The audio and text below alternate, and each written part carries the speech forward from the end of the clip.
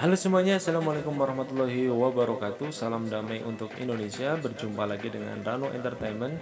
Kali ini saya ingin membahas tentang Prakerja gelombang 16 Yang hari ini sudah ditutup Di tanggal 28 Maret 2021 Jadi hari ini sudah ditutup Untuk prakerja gelombang ke-16 saya akan memberitahu ciri-ciri prakerja yang lolos di gelombang 16 ini. Eh, bagaimana melihatnya? Simak terus video ini. Tapi bagi teman-teman yang baru gabung di channel ini, alangkah baiknya teman-teman subscribe terlebih dahulu channel ini agar teman-teman mendapatkan notifikasi-notifikasi video terbaru dari kami tentang berita-berita bantuan prakerja dan berita-berita bantuan yang lainnya. Terima kasih banyak yang sudah subscribe. Saya doakan agar Anda mendapatkan rezeki yang berlimpah dan mendapatkan segala kemudahan. Langsung saja kita melihat ciri-ciri lolos di gelombang ke-16. Silakan teman-teman masuk saja ke dashboard teman-teman eh, prakerjanya dan apabila tertulis seperti ini pendaftaranmu sedang kami evaluasi dan masih terlihat gelombang pilihanmu yaitu gelombang 16 sedang dievaluasi eh, dibuka tanggal 2, eh, 25 sampai dengan 28 Maret.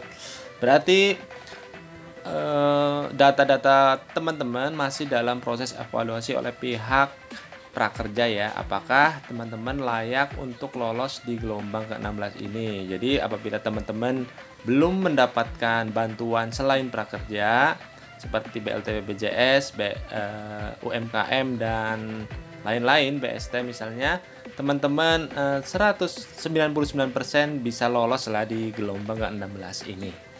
Jadi uh, bagi teman-teman yang tertulis seperti ini berdoa saja semoga lolos di gelombang ke-16 kita akan melihat ciri-ciri yang kedua untuk apakah lolos atau tidak. Untuk ciri-ciri yang kedua adalah seperti ini uh, ya pendaftarmu sedang kami evaluasi dan tidak terlihat gelombang yang dipilih ya. Jadi cuma ada tanda pentung seperti ini.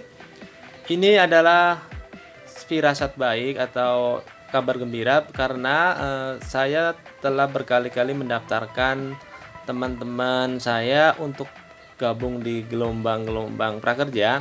Apabila terdapat tanda seperti ini, kemungkinan lolos sangat besar ya, 90% sangat besar untuk lolos prakerja ya. Jadi apabila tandanya seperti ini, biasanya ini satu hari setelah ditutup prakerja ya, eh, gelombang prakerja 16 ditutup hari kemudian akan muncul seperti ini apabila yang akan lolos akan muncul seperti ini ya tanda-tandanya ya. Uh, jadi bagi Anda yang tanda-tanda seperti ini kabar gembira karena 90% tanda-tanda seperti ini akan lolos ya.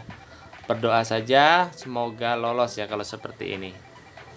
Apabila teman-teman sudah dinyatakan lolos oleh pihak prakerja, maka teman-teman akan mendapatkan SMS seperti ini ya. Selamat kamu dapat kartu prakerja. Untuk dapat melihat nomor kartu prakerja, kamu harus menonton tiga video tentang prakerja pada dashboard akun prakerja kamu.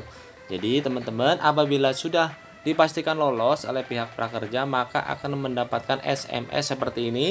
Dan teman-teman diwajibkan menonton tiga video tentang prakerja pada dashboard prakerja teman-teman ya. Jadi selamat apabila teman-teman yang lolos di gelombang ke-16 ini maka akan mendapatkan SMS seperti ini.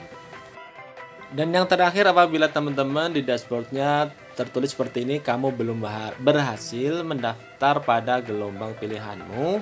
Sudah memenuhi kuota ya atau kuota sudah penuh berarti teman-teman di gelombang ini belum berhasil ya. Jadi teman-teman tetap berusaha pokoknya jangan menyerah. Apabila teman-teman belum pernah mendapatkan bantuan dari pemerintah tetap saja gabung gabung gabung terus di gelombang berikutnya. Walaupun gelombang ke-16 ini katanya adalah yang terakhir di Eh, semester pertama ya tapi uh, kemungkinan akan dibuka kembali gelombang ke-17 dan seterusnya. Terima kasih semoga informasi ini bermanfaat. Jangan lupa subscribe channel ini. Wassalamualaikum warahmatullahi wabarakatuh